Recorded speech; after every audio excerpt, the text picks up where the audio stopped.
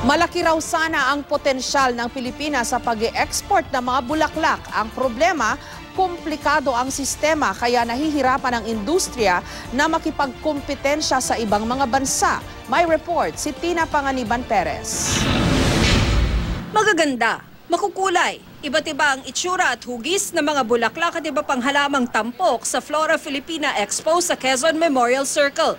Layo ng expo na maengganyo ang publiko mag-alaga ng mga halaman, lalo na ang mga high-value crop tulad ng mga orchid.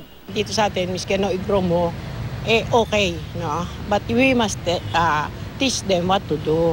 Kailangan turuan. At saka makita nila yung mga iba-ibang halaman, magkaroon sila ng, uy, maganda pala yon, gano'n, interest. Ganun. Kung hindi natin gagano'n, maiiwan tayo ng ibang bansa. Katunayan na pag-iwanan ng araw tayo. Kaya nga kasama sa expo ang pag-iimbita ng mga dayuhan para magturo sa atin ng mga bago sa horticulture industry. Sa sobrang liit daw ng industriya sa Pilipinas, wala itong impact sa mundo kahit pa tinatangkilik ang ating mga bulaklak sa abroad. May mga halaman tayo dito na binibili nila, katulad ng uh, Holland, no? na hindi na natin pwedeng i-export. Kumbaga parang ano na nila, yung sila na may hawak ng production.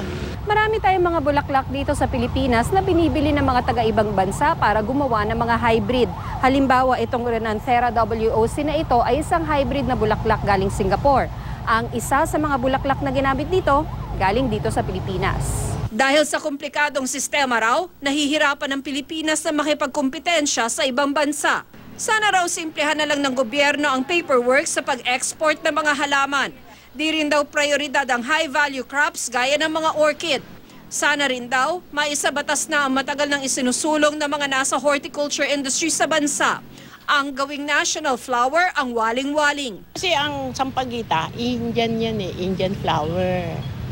Oh, kaya kung waling-waling, kilala tayo sa waling-waling. At ang waling-waling kasi, napakaraming halamang nagawa na na-cross, na hybrid out of that. That's the best. Talagang uh, endemic. Yung endemic dito lang makikita sa Pilipinas.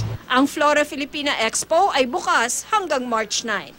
Tina Panganiban Perez, GMA News.